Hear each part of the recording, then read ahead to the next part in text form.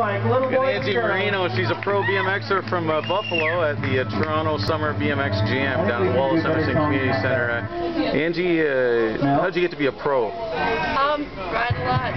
No, I'm picking Now you- better you're from song. Buffalo and you're up here in Toronto. Um, what do you ride in Buffalo? Um, there's a few All right, ladies and gentlemen, four foot two, 972 pounds, all the way from Massachusetts, maybe. Are there a lot of- Andrew lot of girls let's that are it for BMXing, everybody.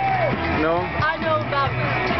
That was the sign you need to write I guard. think more girls would get involved with it. Yeah, there's more Go! here and there. Yeah. All right, you I met some really minutes to join Canada at keen uh, female riders uh, from Montreal at the uh, Winter Jam. Yeah. If you see something you like, make some Mud, noise. yeah. Come on. know Oh! She was really neat. Goes down 360. Uh, you're gonna ride today? You Tail whip, Um, maybe possibly tomorrow. go manual gonna ride at the amateur day?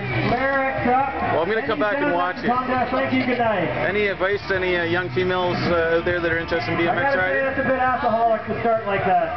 Not fair to everybody else. Everybody friendly? 360 tail whip. 17 years old. What are the benefits of BMX bike son. riding for you? Um, something. 360 degrees over the spine. Aerial pull out. Well, thanks for coming all the way from Buffalo. Aerial luck in the pull out.